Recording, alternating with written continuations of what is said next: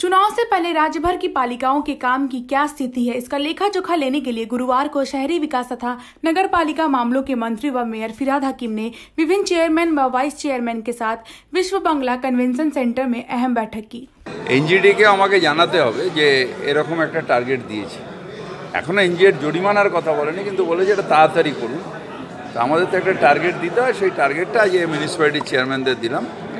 যে segregated waste আর segregated waste যেখানে নিয়ে অন্তত ডোর টু ডোর কালেকশনটাকে হান্ড্রেড পারসেন্ট করা।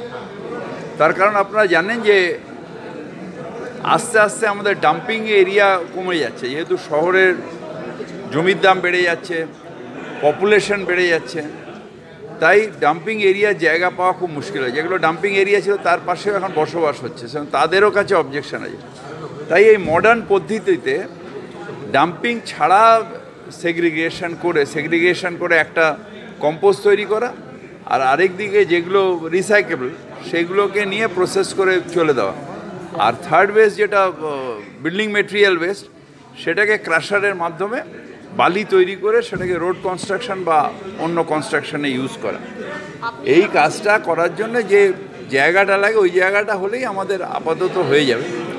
তাই আমরা বলি যেখানে ছোট মিউনিসিপ্যালিটি সেখানে ক্লাস্টার তৈরি করতে, আর যেখানে বড় মিউনিসিপ্যালিটি একাই করতে। আমরা যেরকম কলকাতা কর্পোরেশন একটা গ্রিন ফিল্ড করেছি, আর কিছু জায়গায় আমরা বায়োমাইনিং করছি। কিন্তু একটা বায়োমাইনিং করতে করতে তিন বছর লাগবে, আরেকটা পাহাড় তৈরি হয়ে যাবে। সেইটাকে যাতে রেগুলারলি করা যায়, তার জন্য যে ইনফ্রাস্ট্রাকচার সেই সাপোর্টটা আমরা চাইছি যে কিছু এক্সপার্ট আসুন সেই সাপোর্টটা দিয়ে যাতে রোজকার রোজ ওয়েস্টটাকে আমরা ডিসপোজ করে পারি।